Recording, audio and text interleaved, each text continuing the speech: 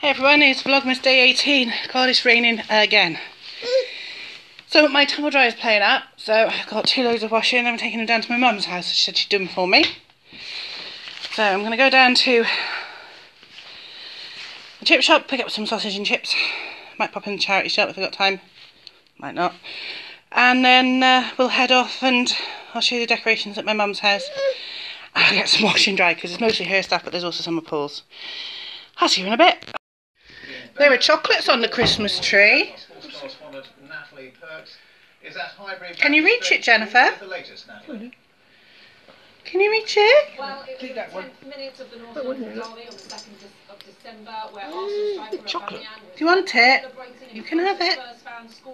Spurs fans scoring uh, a penalty. On. And a banana skin was thrown in his direction. Now today, 57-year-old Mr. Avera Can't have it if you don't take it off. in Black suit. Uh, he's a lifelong took him off before, haven't you? Guilty to Nearly. throwing She likes to himself make them onto move the pitch. However, Oh, you are clever. said it could have been an apple or a plastic cup. He had no idea the of what he'd done. She likes to play with them. She is, isn't she?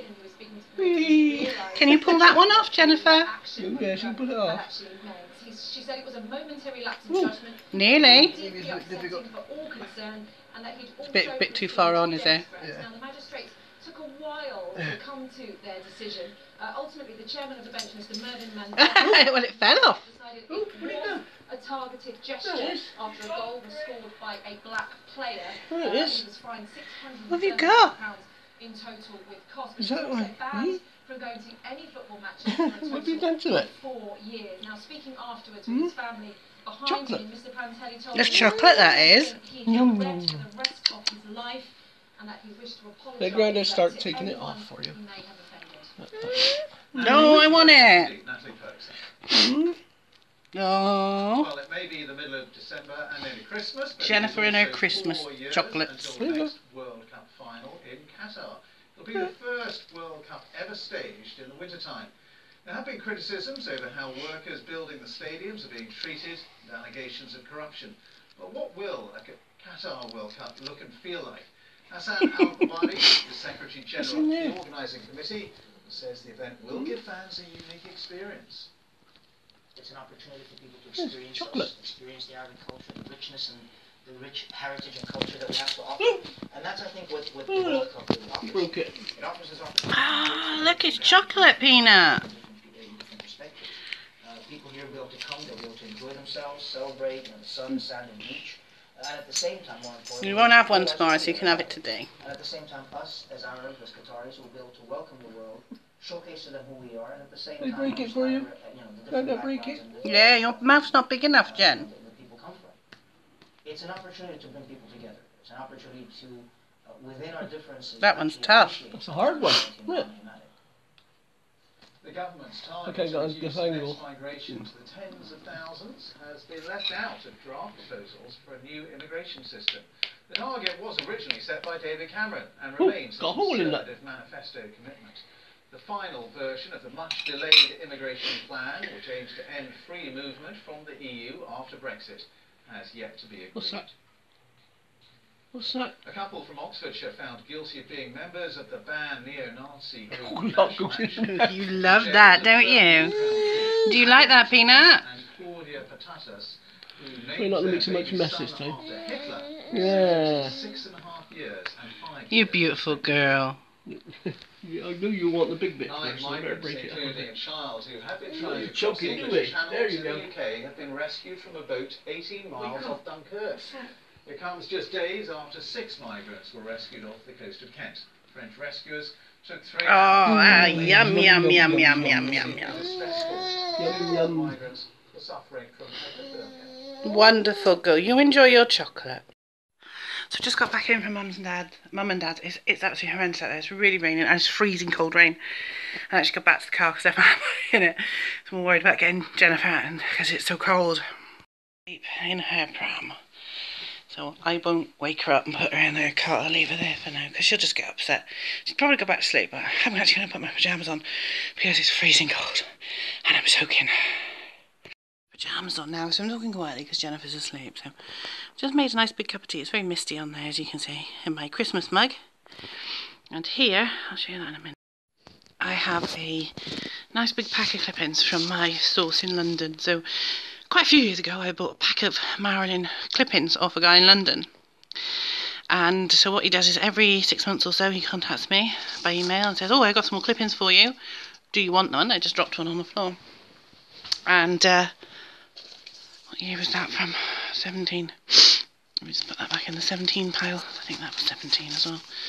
Yeah. Uh, basically, he then just messaged me to say, I've got some clippings, do you want them? And I go, yes, please, because what I do is make a mess, obviously. I collect them, I put them in my scrapbooks, uh, or if it's that's 17, that's 15, okay, so that's 14, and that's 17, so they go in there. So a lot of stuff that he sends me is from has been from this year. There was a lot from this year, and a lot from last year, which is great. And I'll put them into my folders because currently I'm working on a scrapbook that is 2010, and one of the reasons that I don't really rush and make them is because of the amount of stuff that I get from this guy. So some of them's rubbish that's about her star being outside of McDonald's.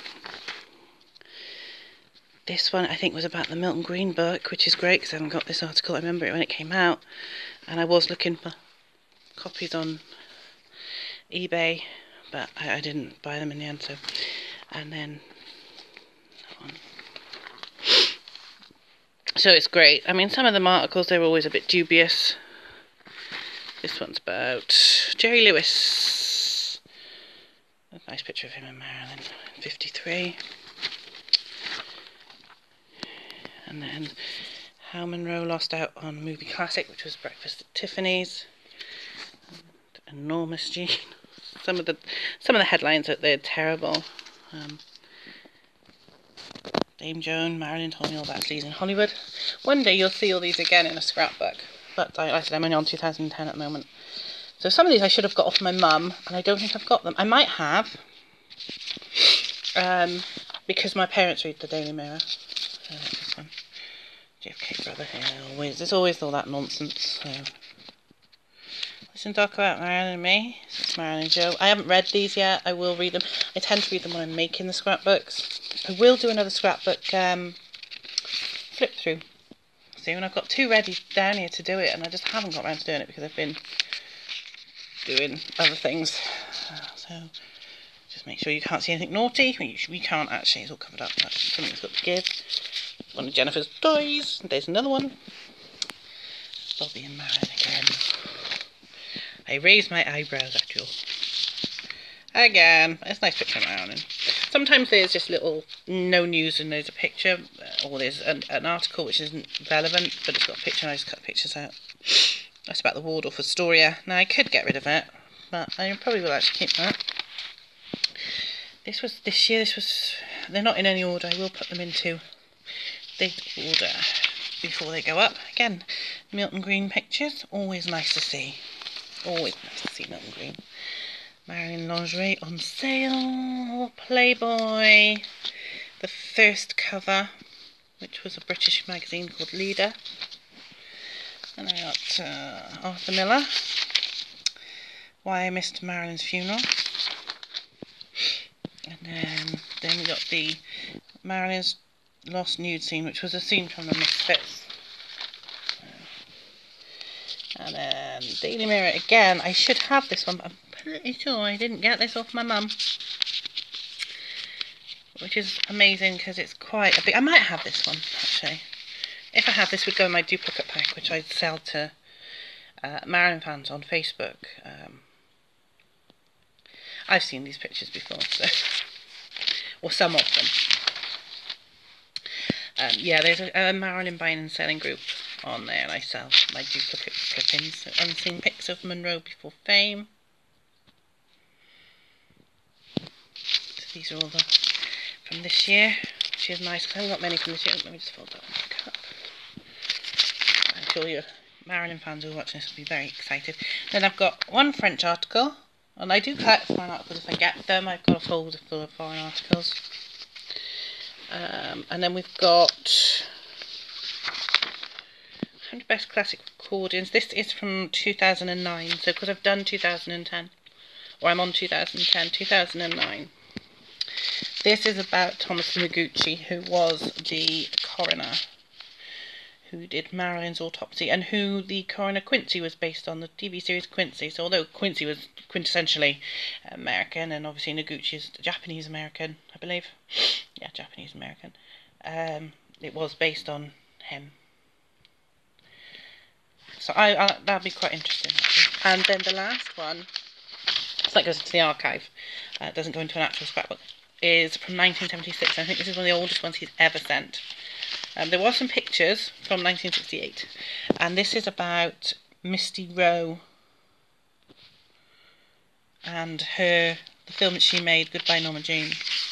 Terrible movie, absolutely terrible movie, but it's uh, about that. So that was what was in that clippings pack. So, so I think there's probably maybe one one duplicate that uh, I can uh, put into my duplicates pack, which is over there because um, I'm going to sort out. I usually sell them in packs of 30 for £15 plus postage. So if you're a Marilyn fan, um, I will send it anywhere in the world. Hit me up and just say you want some clip-ins.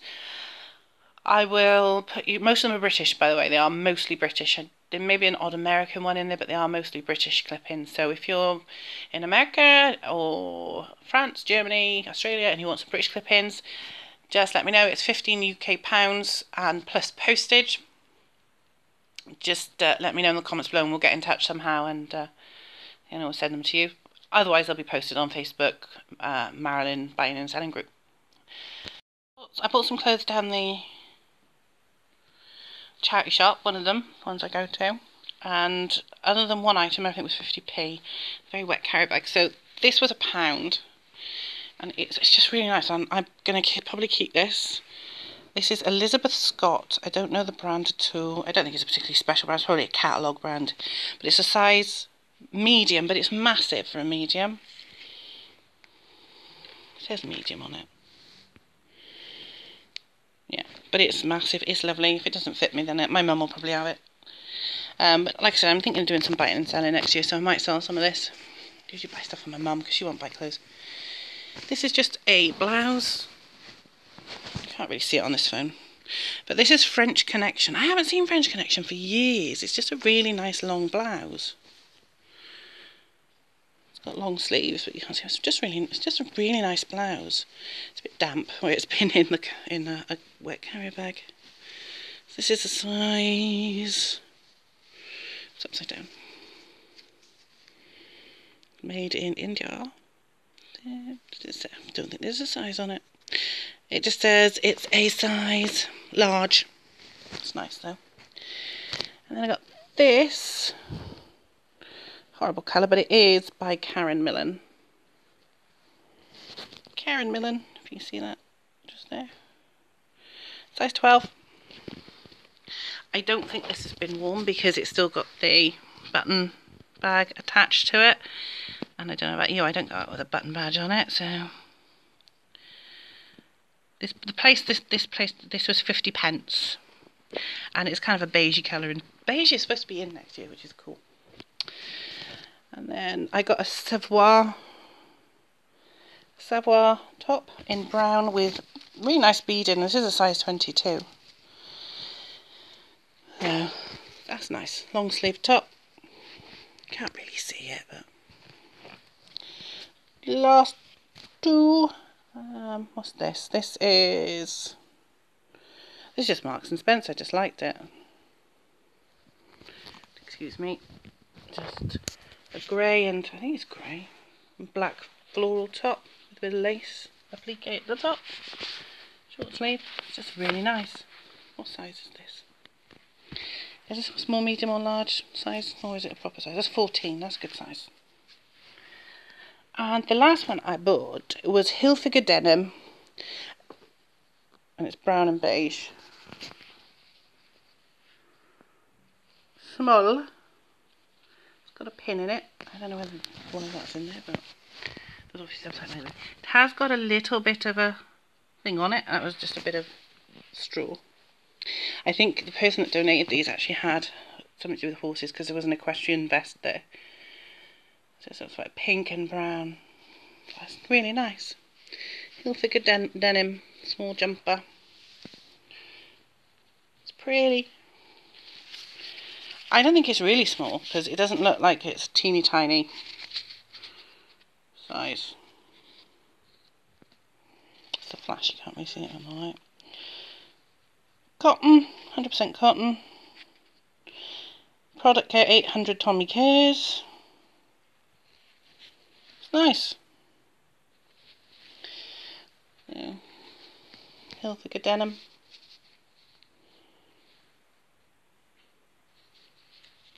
Proper stitched label. Nice. It's actually just a really nice jumper actually. So that's what I bought down the charity place because I thought they were nice. So yeah, we'll see. Well, that's about it for today. Um, I'm going to develop this roll of film soon. This film was in one of the boxes. I used Box Brownie camera um, that I bought at auction. It was the, the, the original box. There's actually a roll of film in the camera as well that's not been used. Now, this is a very old roll of film and I know this because it expired August 1963. So that was 11 years before I was born. Um, so I'm going to put this in a tank and see if I can develop it. I'm, I'm probably film it. I'm going to use a stand development. So it's basically you just put so much chemical, so much water in, you leave it stand for an hour, hence the name stand development. When the weather gets brighter, I'm going to actually use that camera and then use that roll of film and then do the same with that. But uh, here's Peanut saying good night. Say good night, Peanut. There. And we'll see you tomorrow.